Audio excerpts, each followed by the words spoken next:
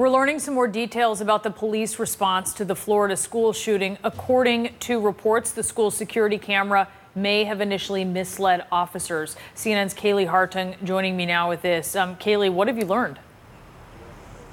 Brianna, we are learning of some serious confusion experienced by law enforcement and first responders here last Wednesday. The Coral Springs police chief telling the Orlando Sun Sentinel that the Broward County Schools surveillance cameras were on a 20 minute delay. That means in the pursuit of the suspect. While they thought they were looking at real time video of where they could find him, they weren't. Those images were 20 minutes old. I want to play a clip for you of the radio traffic that afternoon. Let's timestamp it 254. Listen to what you hear, and then I'll put it into context.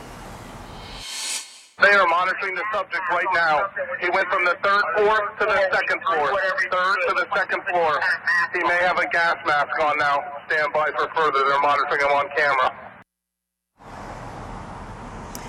You hear that. Police believing they are seeing real time images of the shooter going from the third floor to the second floor, and that was at 254. Now, when you look back at the log that investigators gave us very early, after the event, it was at 221 that the suspect began shooting and 228 that the suspect exited the building. So in that moment, Brianna, that we just played for you, police thinking they could be getting ready for a confrontation with the shooter, psychologically preparing themselves for a gunfight, when in fact at that time, the shooter, again, according to this initial timeline we were given, was at the Walmart purchasing a drink from Subway.